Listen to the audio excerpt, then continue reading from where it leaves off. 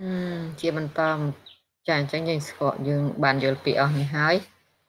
ចាជាបន្តគឺយើងមើលសិក្សាទៅលើទីតាំងភូមិសាស្ត្រថាតើ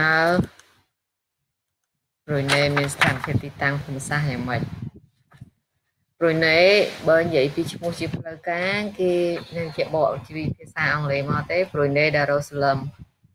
ខ្លះវាសរសេរខុសគ្នាតិចតួចអីទេ ចឹងជាប្រទេសមួយដែលស្ថិតនៅភាគខាងជើងកោះបូណេអ៊ូបូណេអូនៅតំបន់អាស៊ីអាគ្នេយ៍យើងគឺយើងប្រាប់ចឹងនេះទីតាំងវានៅអាស៊ីអាគ្នេយ៍ចាហើយប្រ៊ុយណេមានព្រំដែនសមុទ្រជាប់អឺ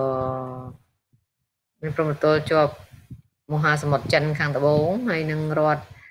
អឺរវៈរបស់ប្រទេសម៉ាឡេស៊ីអញ្ចឹងជាប់សមុទ្រចិនខាងត្បូងនិងជាប់ម៉ាឡេស៊ីហើយសម្រាប់ដែនដីប្រ៊ុយណេនេះគេចែកចេញជាពីភូមិ សាស្ត្រផ្អែកលើតំបន់លីមបាងរបស់រដ្ឋសារ៉ាវ៉ាក់ហើយនឹងដោយទាំងអាខណ្ឌចែកជាពីរនេះគឺខណ្ឌចែកដោយតំបន់ហ្នឹងតំបន់លីមបាងរបស់រដ្ឋសារ៉ាវ៉ាក់ព្រោះនេះជារាជាណាចក្រជារាជាណាចក្រសូលតង់បានន័យថាគ្រប់គ្រងដោយព្រះមហាក្សត្រសូលតង់ហើយទទួលបានឯករាជ្យពី អាណាចក្ររួមឬខ្ញុំទទួលឯករាជ្យពីអង់គ្លេសនៅឆ្នាំនៅថ្ងៃទី1ខែ1 1984ហ្នឹងចឹងបានន័យថាប្រុយណេក៏ធ្លាប់ស្ថិតក្រោមអាណានិគមប្រទេសអង់គ្លេសដែរឯប្រទេសកម្ពុជាយើងស្ថិតក្រោមអាណានិគមប្រទេសណាគឺប្រទេសបារាំងចាសម័យអាណានិគម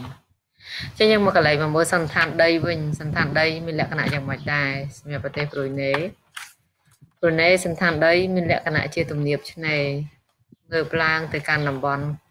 ជើងភ្នំនៅប៉ែកខាងកើតនិងជាទំនាបសម្បូរដោយកូនភ្នំនៅប៉ែកខាងលិចបើន័យថាវាមានទំនាបឆ្នេរងើបឡើងហើយពីពុះទៅរកតំបន់ដែលសម្បូរកូនភ្នំខាងដីមានលក្ខណៈអញ្ចឹងហើយបើយើងមើលទៅលើអាកាសធាតុវិញគឺមានលក្ខណៈប្រហែលគ្នាមួយម៉ាឡេស៊ីដែរគឺមានអាកាសធាតុត្រូពិកចា អាកាសធាតុត្រូពិកគឺវាអាចក្តៅហើយសើមអញ្ចឹងទៅតាមស្ថានភាពតែយើង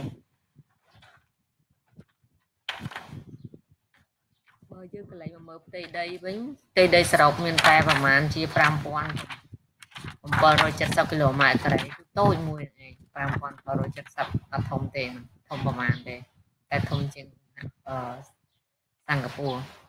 ប្រជាជនមានប្រមាណជា 0.388លាននាក់នៅឆ្នាំ2009នេះគឺជាផ្ដោតទៅលើទិន្នន័យឆ្នាំ2009រហូតមកដល់ឥឡូវវាអាចមានការប្រែប្រួលទៀតយើងអាចចាប់ដឹងយើងស្រាវជ្រាវមើលណា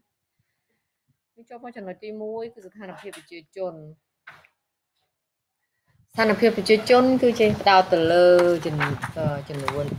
ប្រវត្តិនៃប្រជាជនថាមានសាសជនជាតិអីសាសនាហើយនឹងអត្រាកើតអត្រាស្លាប់អត្រាបរោះស្ត្រីអីអញ្ចឹងទៅអញ្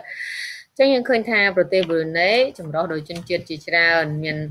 មានជនជាតិម៉ាឡេមិនជនជាតិម៉ាឡេចិន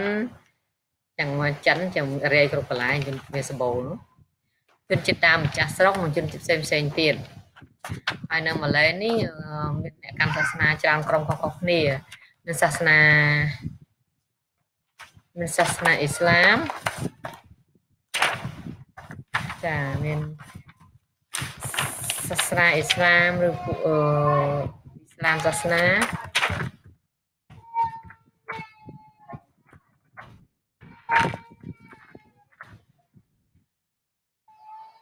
អ៊ីស្លាមសាសនា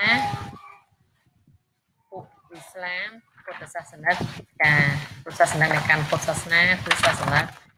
នឹងនឹងអ្នកកាន់សាសនាផ្សេងផ្សេងទៀត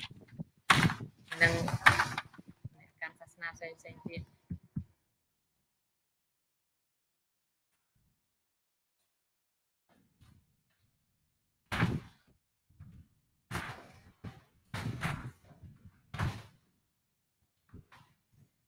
រួមទាំងអ្នក